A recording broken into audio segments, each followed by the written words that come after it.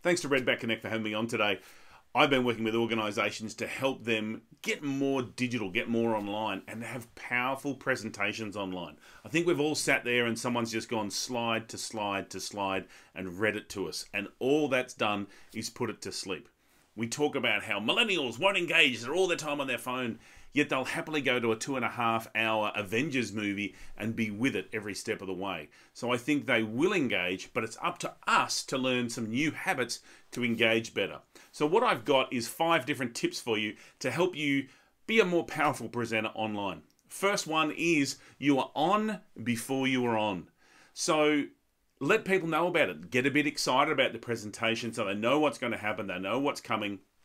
And then when the event happens, get online five or ten minutes beforehand so when people do come online start taking questions from them start talking to them start making it more about them. What you may find is some questions come up that you can on the fly add into your presentation so it's more relevant for them. So make sure you know that you are on before you're on. Second thing is don't do it alone. So whether you get the great crew at Redback who are helping you, maybe you've got someone in your office who's sitting next to you, they can take on board all the questions or some of the comments, or they can operate the technology so you're free to just do your presentation. Having someone else there really makes a big difference. They can make everything go super smoothly.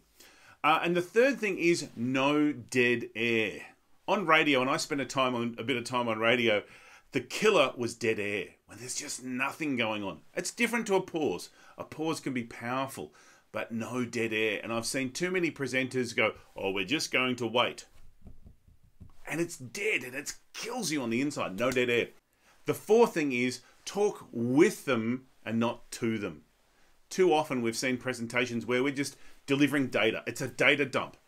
You can do that via email. You can send them a document, a white paper, even a pre recorded video with information. For the presentation, what you want to do is include them in it. So have some interactive sessions. Get them to be asking questions. Get them to do a survey or a post as it's going, uh, sorry, a poll as it's going on so they can interact with you. Make it about them. Even if you are delivering information, you can make it about them in a certain way by asking the right questions. Powerful questions make all the difference. And the fifth thing I would suggest you is start now. Get started. We live in Australia, which is so geographically spread using this medium is brilliant for doing some short, sharp meetings. So whether it's using Redback and, and for some of your smaller and more intimate little conversations, you could use something like Skype or, or, or Zoom or some of them, plenty of different services out there for just small things. For something that's larger, I'm all about Redback. They do some great work. But start now, get started. Even if it's just a simple FaceTime video call with one of your colleagues to if you're giving some briefing information and just see the difference of performing online. I've got a whole lot of other resources. I'm going to put a link at the bottom of the screen here that you're welcome to to have access to. In a couple of weeks, I have uh, an online half-hour power session on some of the skills you need to present powerfully online. I'd love it if you'd be there. If you can't make the time, just register. I'll send you the recording. Warwick Merry here. Thank you to Redback Connect for having me as part of this session today, and I wish you all the very best as you present powerfully online.